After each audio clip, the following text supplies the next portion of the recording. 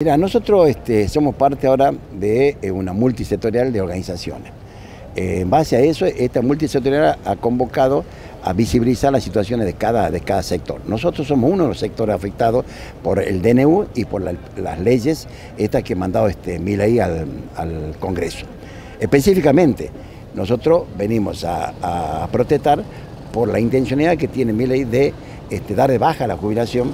Además de eso, pretende eh, tomar a los fondos de sustentabilidad, al fondo de garantía que, tiene que tenemos nosotros jubilados, que es alrededor de 76 millones de dólares, ese dinero pasaría a la mano de Caputo a, su manejo a, discreción de él. Nosotros pretendemos que continúe ese fondo donde está, que nos siga siendo garantía para que se sigan jubilando todos los, trabajadores, que haya, siga habiendo jubilaciones. Estamos justamente para pedirle a los diputados nacionales y a los senadores nacionales que representan a Tucumán de todos los partidos políticos que este, rechacen ese DNU y además rechacen ese paquete de leyes. Es decir, ese paquete de leyes se debería discutir este, tema por tema. Es decir, además de esto, nosotros queremos este, eh, reafirmar la democracia y acá estamos presentes todos los, jubilados levantando firma, es un petitorio que estamos haciendo para hacerles llegar a los diputados nacionales, donde le pedimos concretamente este, rechazar ese DNU y rechazar el paquete de leyes donde afecta al, bienestar de los jubilados.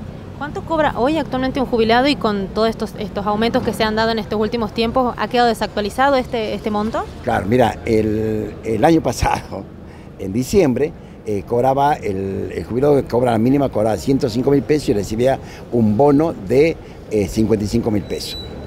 Este, la mercadería estaba en un precio. Hoy cobran lo mismo, este mes han cobrado lo mismo y la mercadería ha aumentado el 90, el 60%. Es decir, que nosotros cobramos lo mismo como cobro en diciembre, pero nuestro, nuestro dinero, nuestro, nuestro sueldo hoy está totalmente devaluado. Es decir, hoy vale nuestro sueldo la mitad de lo que valía el mes pasado.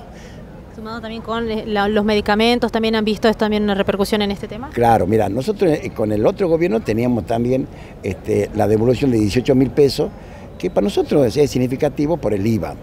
Teníamos, teníamos también algunos subsidios de parte del, del, PAMI y también del ANSE. Un ejemplo, la garrafa, la mayoría de nosotros que cobramos la mínima teníamos una garrafa subsidiada. Hoy esa garrafa eh, cuesta este, 10 mil pesos y no, hay, y no hay ningún tipo de subsidio. Cuando antes teníamos subsidiado el 60% del valor de esa garrafa.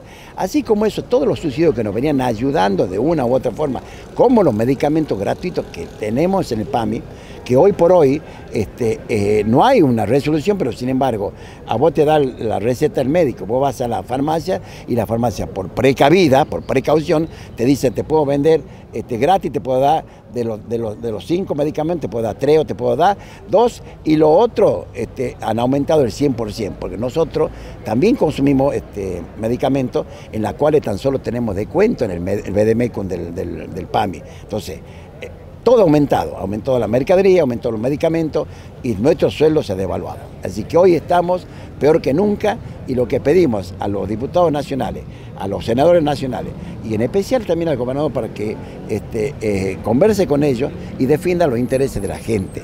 Sabemos de que hay necesidades, que los gobiernos tienen necesidades de discutir, porque ellos tienen que discutir, no sé lo que es la coparticipación, que con esa coparticipación ellos tienen que administrar su Estado los tenemos y sabemos que es así.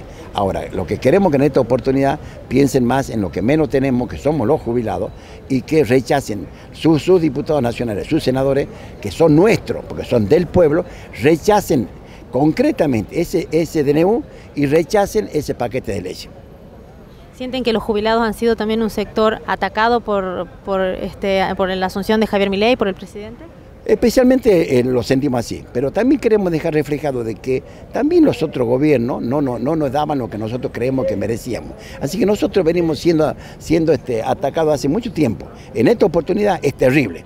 Es decir, si ayer, ayer estábamos este, mal, hoy estamos peor.